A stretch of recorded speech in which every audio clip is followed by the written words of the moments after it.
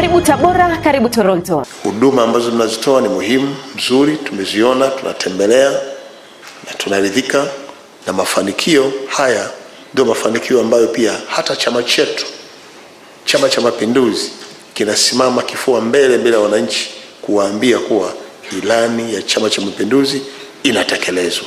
Waziri Mkuu Kassim Majaliwa amekutana na kuzungumza na makatibu tawala wa mikoa na wakurugenzi wa halmashauri zote Tanzania bara ambapo pamoja na maelekezo mengine amewataka kuweka mikakati thabiti ya ukusanyaji na udhibiti wa mapato ya ndani ili kuboresha utoaji wa huduma kwa jamii pamoja na kubuni vyanzo vipya vya mapato.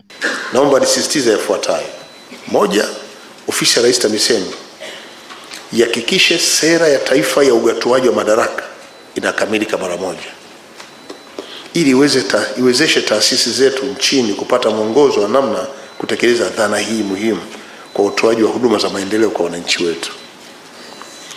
Mbili, TAMISEMI hiyo hiyo kuendelea kufanya kazi kwa pamoja na Wizara ya Fedha na Mipango kushughulikia swala la ruzuku za serikali za mitaa sambamba na utatuzi wa changamoto mbalimbali za utekelezaji wa miradi katika mamlaka zisizo za mitaa na mikoa.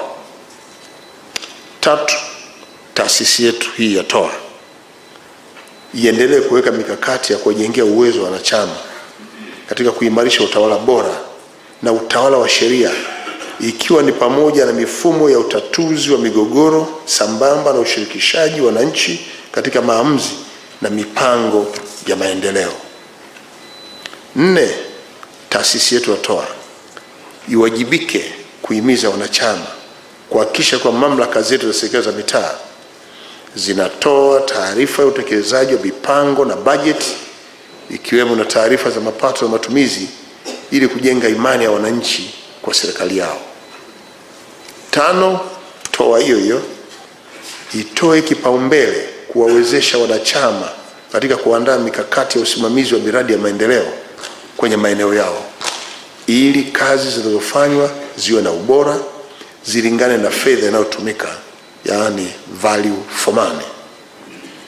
Na mwisho sita, kwa nafasi zenu wekeni mikakati ya ukusanyaji na udhibiti wa mapato ya ndani ili kuboresha utoaji wa huduma kwa jamii.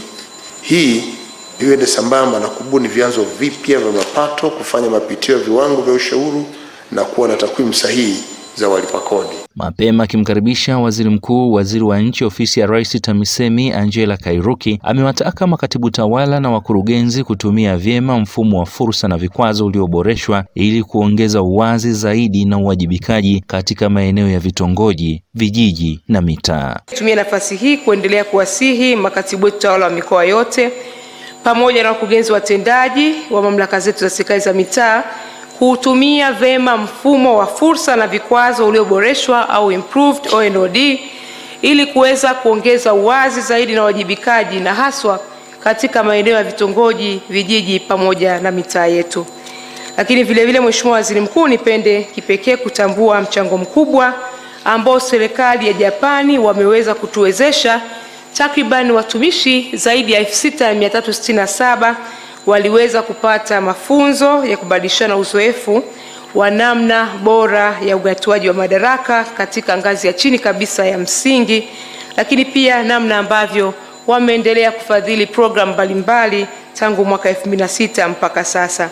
Tupende tu kuhakikishia serikali ya Japan kupitia JICA kwamba uzoefu ambao tumeupata kama mamlaka serikali za mitaa kutoka kwao tutaendelea kuutumia katika kuboresha utendaji wetu lakini pia kuboresha uendeshaji wa mamlaka zetu za serikali za mitaa kwa Tanzania.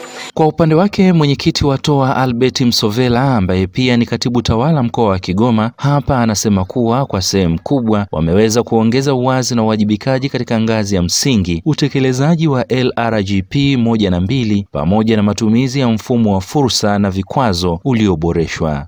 Mafanikio kadha yamebainika katika nchi yetu. Mafanikio hayo ni pamoja na kukua kwa demokrasia ambapo wananchi wanashiriki katika kuwachagua viongozi hususan uchaguzi wa serikali za mitaa katika ngazi za vitongoji, vijiji na mitaa. Lakini mafanikio mengine, Mheshimiwa Waziri Mkuu, ni kuongezeka kwa uwazi na uwajibikaji hasa katika ngazi za msingi kuanzishwa kwa mfumo wa ushirikishwaji wananchi katika upangaji wa mipango yao ya maendeleo kwa maana ya O&OD ambao kwa sasa unafahamika kama mfumo wa upangaji mipango wa O&OD iliyoboreshwa au lugha ya Kiingereza wasema improved O&OD.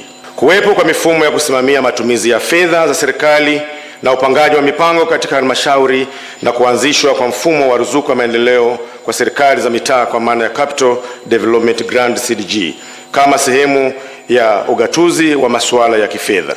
Kupitia mfumo huu, Mheshimiwa Waziri Mkuu, zilisaidia sana katika kutekeleza miradi ya maendeleo yenye jitihada za wananchi. Hata hivyo, Mheshimiwa Waziri Mkuu, e, mfumo huu uliweza kusitishwa mwaka 2017. Kupitia YouTube channel gonga na subscribe channel yetu ili uwe wa kwanza kuhabarika na kuburudika na Toronto Online TV. Karibu Tabora, karibu Toronto.